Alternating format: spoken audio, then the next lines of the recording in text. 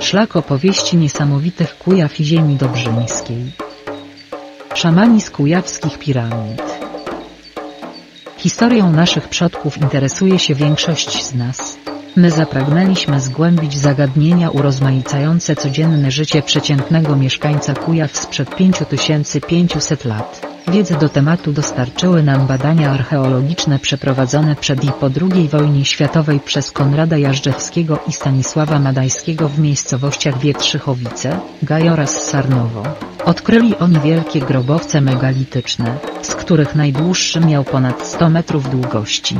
Największą ich ilość, pięć obiektów, odkryto w Wietrzychowicach, gdzie mieści się od roku 2006 Park Kulturowy wraz z rekonstrukcją grobowców. Warto wspomnieć, że grobowce zyskały miano polskich piramid i wymieniane są przy tak słynnych budowlach megalitycznych jak Stonehenge. To właśnie w pobliżu jednej z piramid z Sarnowa, oddalonej o około 25 km miejscowości Pikutkowo, znaleziono przedmiot ceramiczny w kształcie klepsydry rozszerzającej się ku górze bez dna o średnicy 20 cm i wysokości 18 cm.